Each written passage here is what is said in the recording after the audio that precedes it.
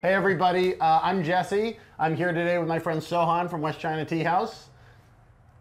Nice to meet you. Uh, we're here in West China Tea House. We're here. Howdy. With, yeah, I was like, this is they're cute. it's great to have tea friends uh, here in the states like So Han. Sohan spent a lot of time in China. Uh, he's a real tea guy, and he runs an actual in-person tea house here in Austin, Texas, where I am today. So thank you so much for hosting me. Absolutely. And we're going to be doing a, a, live podcast recording soon. I'm not exactly sure when that's going to come out, but when that does, you guys want to see it.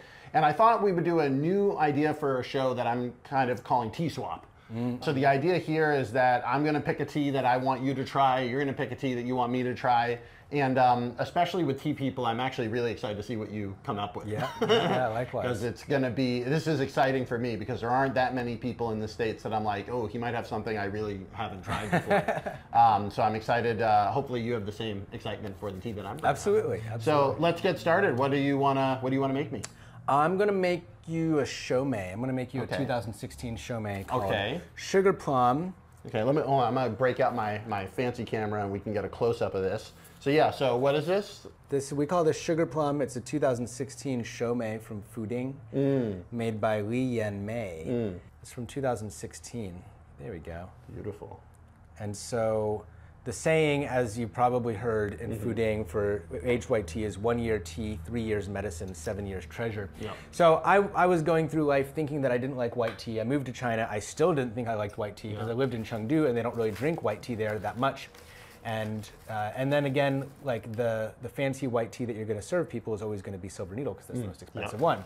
Even though, and I do like Silver Needle mm. now. Mm. I'm really picky about it, but mm. I do I do appreciate it now. But at the time, I was like. Yeah. White tea tastes like water yeah. because when I when I worked at the tea shop, Jade Leaves, people would be like, "What's your favorite kind of tea?"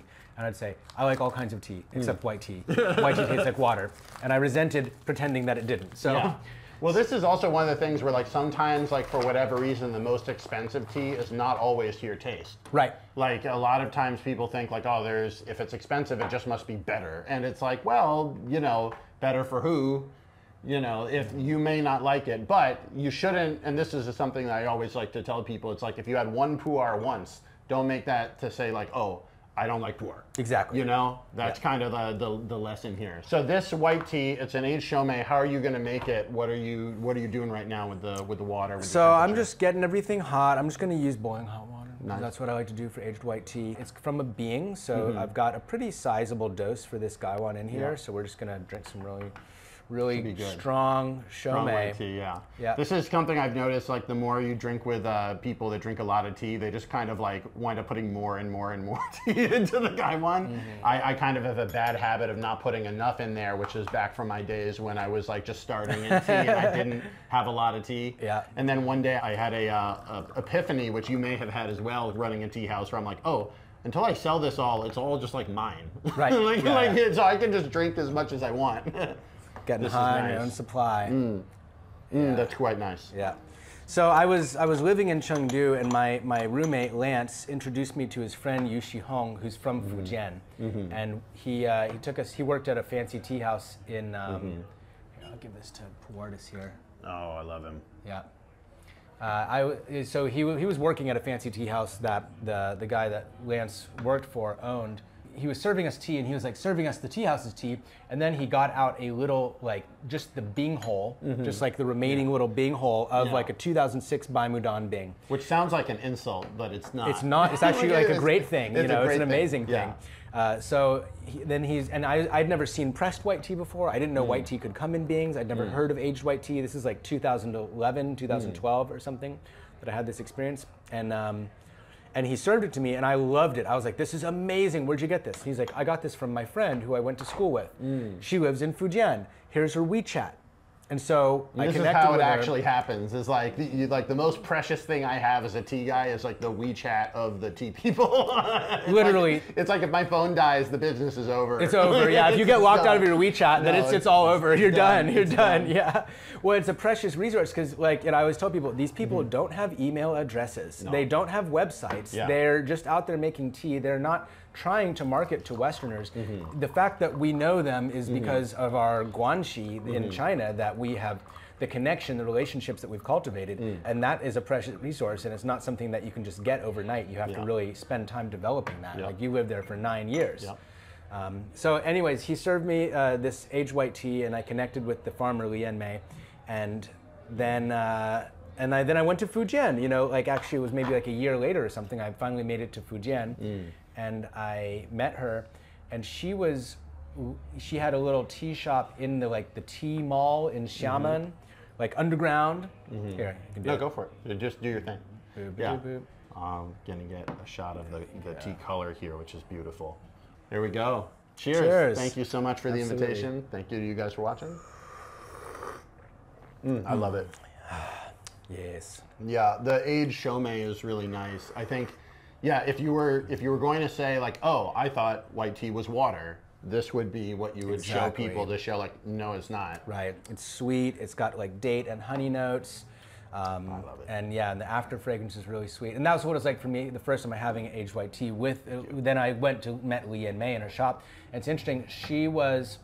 Uh, in this little shop in the tea mall, and then caddy corner from her was mm. the guy who had a who was a Wuyi Oolong tea master who roasted mm. Wuyi Oolong, mm. and they were dating when I met them. Now they're married. They've got two kids. God. When I go over there, yeah, it's like a tea couple. Yeah, they're like a tea power couple, and these kids are going to learn how to make white tea and yen cha. Cool both, which, which is be that'll really be cool. interesting yep. to see them come out of the same place. I think a lot of people sometimes they, mm-hmm. by the time the tea gets to the west, it's kind of been aggregated by somebody, and we try to do a good job at doing that as the people that are not physically growing the tea. But if you could have knowledge like that within one family, then like you know oh, that's yeah. really cool. Huge. It, it seems like oh you can get any tea you want it's like no, unless the family has the knowledge of how to make that tea well, it's not going to come out good. so when you drink this white tea, like what type of person would you recommend for a white tea?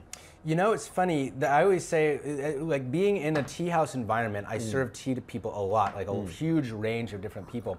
And if I'm serving tea at like a party and there's 20 people at the tea table mm-hmm. and I do not have the ability to canvas the, the crowd yeah. and see what kind of tea they want to drink or what mm-hmm. kind of mm-hmm. tea they like and make maybe some of them have never done gong fu cha before yeah. at all, I'll make aged white tea. Yeah, aged white tea is a good choice because this is, I, I like, um, I have a 2011 Fuding on the shop. Um, which is a really good aged white tea. And they, um, like, one of the benefits of it is that it's light enough to drink as much as you want, yeah. but it has good flavor and, like, that herbal note to it. Mm-hmm. Which again reminds you you're not drinking water. yeah, exactly. Yeah, it's robust and it never really gets bitter. That's a big one because people can, you know, people will yeah. boil it, people will steep it super, super long. Yeah, beautiful color. Yeah, it's beautiful, like apricot. What's this horse's name? Uh, that's Chonky Horse. Chonky Horse. Yeah, he's, nice. he's a he. Oh Lord, he coming. I remember I, I, I, always have this like thing where whenever we come out with a new subscription box, they're all zodiac themed. So every box has a cup and a pet that is along with the zodiac thing. Nice. And I have to be in the position of like months ahead of time planning this, but not revealing the tea pet. Right. Because like everybody wants to like, you know, is thinking, what's a going to be like for the horse box? What's a going to be like for that box? And I'm like, I know that, but I can't tell you. Wow. and so uh, a day or two before it launched, um, I was finally doing my last spoilers, and I, I, have a picture of Chonky Horse up on my hand in front of the skyline of LA, and it just, and I just wrote, "Oh Lord, he coming," and it got like a thousand likes. yeah, like I think that I would say this because a lot of times I think people dislike the internet or internety stuff, and for me, it's like if I had experienced tea as a high culture, you know, formal tea house sit, you know, like that sort of thing I would feel maybe a little bit less good about riding old Audi coming on the thing. But for me, it's like it's a way of hanging out with friends. Right. You know, it's not a um, you know, and even in China and lots of places, you go to Fujian, you you know, you go to Chengdu or whatever. They're not like sit for tea. You know. Yeah. yeah. Yeah. They're yeah. like, hey, come on, sit down. What what you been up they to? Like shout at you. They're like, yeah. hey, hey, yeah, yeah, have a cigarette, have some tea. um, which you know, so so for me, it's like I, I like the balance, and I think that there can be a balance. You know. A hundred percent, hundred percent, and and like you're saying that for me, it's the same thing because that's what Chinese people do. That's how mm. they do it. Tea is very down to earth. Mm. It's sophisticated and it's complex and mm. it's well developed, but it doesn't have to be snobby or elitist. And, and it's not. In yeah. China, it's not. Among the people to whom the culture really yeah. authentically belongs, they're very down to earth people, and so I, I love that about your platform that you convey that Mm-hmm. because I do feel like there is this impulse to make to put it up on a pedestal and make it this like Japanese tea ceremony mm, style, very formal thing, Yeah. which is just not the reality. You Yeah. know, they're not the reality in China. So yeah, very cool. So thank you so much for this white tea. I'm gonna take one last sip. Absolutely. And then we're gonna move on to my tea and my story for you, and we're gonna switch up spots real fast. Oh, we swap places. Look at that. oh, Whoa. whoa, whoa! It was as fast for us as it was for you. Um, so that was very good. Thank you so much, So Han, for the white pleasure, tea. I really absolutely. appreciate it. Um, I have brought a specialty that um, I got on the uh, Tea Mountains in Yunnan this June.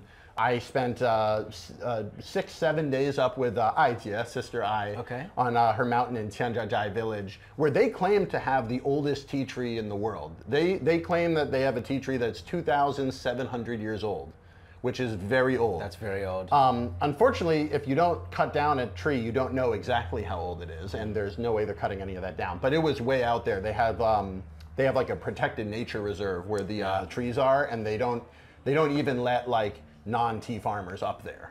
yeah, So reasonably. enough. reasonably, yeah, because those trees are like you know really really valuable, like Super valuable. I mean, you, almost to the point you can't even value them because like you know how much money can I give you to give me a two thousand year old tree? Right. It's like it, it doesn't exist. It's older than Jesus. Yes. So, so yeah, and he's old. Yeah, he's, old. Um, so His birthday's coming his up. yeah, he was born in zero, right? He was born in zero. so that's a long time say, ago. Yeah. Yeah. So I have a tea that was born 2,000 years later in the year 2000. Um, so that would make it uh, that would make it uh, 23 years aged. And uh, I'm going to show you this. Get the uh, extra phone. Did I give you? Oh yeah, yeah. Here we go. So yeah, take a look at this so we can get some uh, some pictures of the tea. You don't need to film me. Get the tea. Um, so these are these are the old leaves. Ooh, yeah. So the um, Twiggy. yeah, so these are leaves from 2000, and uh, the uh, the tea farmers. Oh, we here, have I've got a, I've got oh, a Sheng Gaiwan for you. Perfect. So this will be this will be excellent. This is the raw pu'er. So you have a gaiwan that's specifically for that. Yeah, that's a dye Gaiwan. It's made of dye clay. Oh, I love it. It looks great.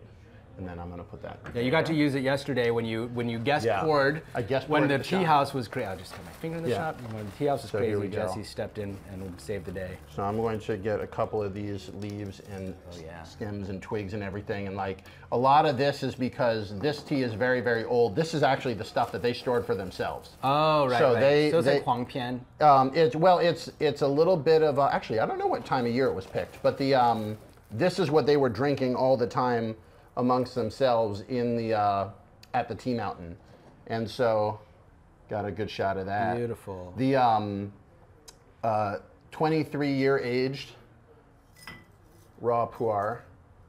I'm gonna add a little bit more even because we're with somebody I think who will appreciate it. Oh yeah, I'm here for it. And uh, this was really great because we collaborate with uh, Idea um, to make our Master Box series. So we have a bunch of teas that are, I think we do have a 2006 show in there, but most of them are a little bit younger than that because the teas there are really good and really valuable. So the this uh, 23 year age tea was not something I was going to buy because it was too expensive even for myself. And then um, on the on the night before we left, uh, you, you can stop the, uh, the extra filming if you want. No one, I'm, I'm telling stories. Uh, no, um, uh, the night before we left, we had like a big kind of goodbye dinner, and everybody sung songs. And then I, I do xiangsheng, like the Chinese comedy, so I did a couple xiangsheng guankou, like uh, like a little bits. And um, everybody was like a little bit drunk, and um, boom, look at that color. Beautiful. So the um, and so everybody was like a little bit tipsy and having a great time. And uh, Sister Ai asked me, "What was your favorite tea you drunk the entire time here on the mountain?" And I was like, "It was you know it was that 23 year Uh-huh. age Sheng."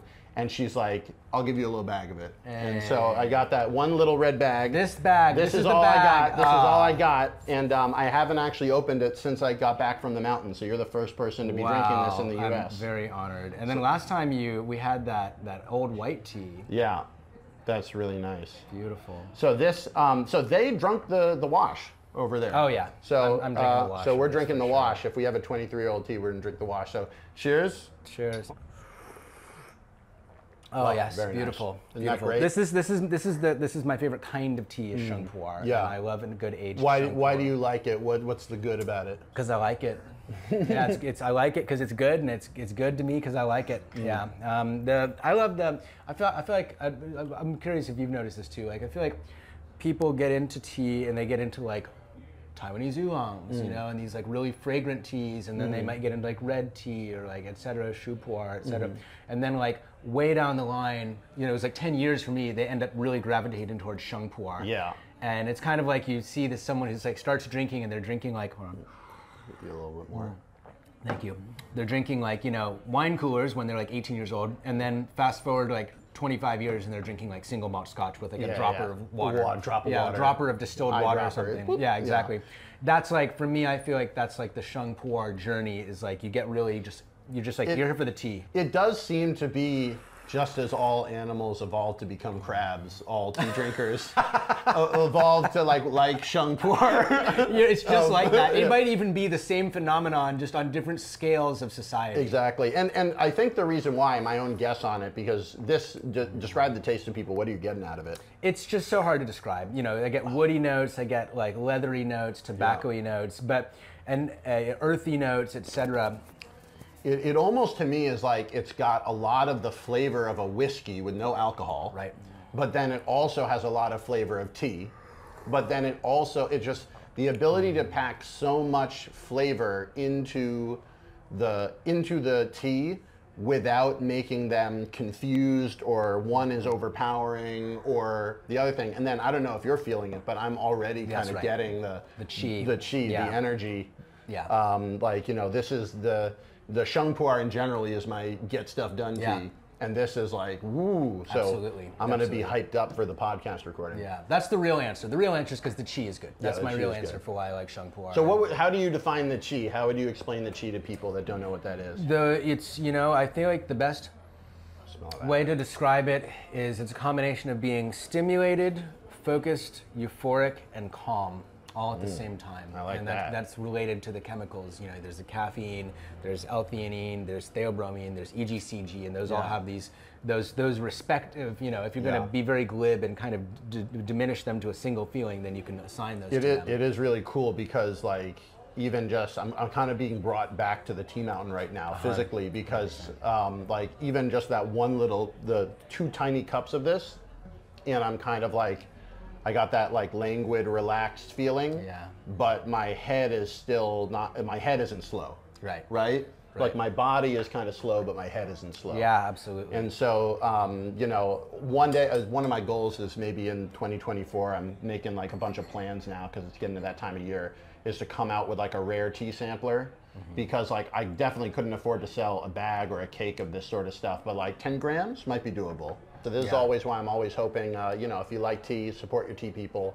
Um, you know, it's it's a good way of uh, making tea more accessible to everybody. Absolutely. You know, so one last um, uh, like you know tasting so to speak of, of this tea and it's a little unfortunate i want to save it because we can get probably another 16 you steeps out of that it. Yeah, you can save it. We can bring it up to the front, and they can they can start pouring. we'll bring it out to the front that would be a good idea and give people a real treat the um, so uh, when you're looking to say like this is a good tea what are you looking for I'm looking for a tea that can steep multiple times. Mm-hmm. Uh, you know, that's what I would say is like it doesn't matter if it tastes good. If you only get two steepings out of it and then it's done, it's the Chinese wouldn't consider it good tea. Yeah. It's got to be clean and it's got to taste clean. And I'm, Mm-hmm. I'm very, you know, I spend a lot of time tasting tea to see how clean it is and, and Mm-hmm. see the effects. And you know, I was saying this earlier. You buy a conventional vegetable and you wash it off, Mm-hmm. and then you're supposed to try and wash off the chemicals. So you buy a tea that's got pesticides, you wash it off, and then you drink the water that you washed it in. And so. Yeah. There's You no, there's no hiding. You know, there's no hiding from chemicals in tea. There's no hiding Yeah. from pesticides, herbicides in tea. And I really believe you can't make a good tea using those. So that's the first Yeah. thing as a sorcerer. That's what I'm think, looking Yeah. at. And then when I'm like, do I like this tea? Because that's my metric. Are we going to sell this tea? Well, would I buy this tea from us if I s- was if it pro- cost as much as we would charge for it? Mm-hmm. Yeah. If I bought it at that price as a tea drinker and drank it, Yeah. would I be stoked or would Yeah. I feel disappointed? And Yeah. If I, you know. And that's a good metric because, like, that's you know, I have a subscription box every three months. They come out with three new teas, and uh, you know, it's one of those things where, like, because I'm going to be making videos, I need to be drinking these teas a lot. you know, so it's like the the tea people say it's like you know. I remember a tea one of my tea people in China put it this way to me. He's like, well, if you're selling it, you can sell good tea or bad tea. but whatever you sell, you're going to drink every day. Yeah. So do you want to drink bad tea every day? Yeah. I'm like, Yeah, yeah. no, I don't. so so like it has to be good enough that I'd be willing to drink it basically every day. Yeah. But yeah, the last things I'd say uh, that I look for in a good tea is the you know the more subtle aspects, the huigan, the houyun, the Mm. Yeah. Mm. cha chi. These more subtle aspects like the the aftertaste and the feeling in the throat and the, the like the fragrance of the empty cup. Yeah. Those subtle things I find, and then having the character of being chun. I was Yeah. thinking about this earlier when we were talking about Yeah. what does it taste like. All the flavors are kind of united. Yeah. That's that word in Chinese that we don't have in English. Chun. Yeah, I was trying to translate it as like, um, it's not a great translation. I, I have a tea cake on the site that's it's called Bingdao Chun. Bingdao is the area of uh, Yunnan where the tea comes from, and Chun is that that we translate it as mellow, which is not really mellow. Um, but that tea is mellow, so it kind of works.